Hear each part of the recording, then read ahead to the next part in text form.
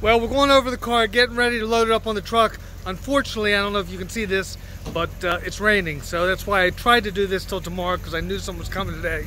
So it was very clean when it left here, but uh, there is rain now on it, and I apologize for it, but I did put the temporary tag on.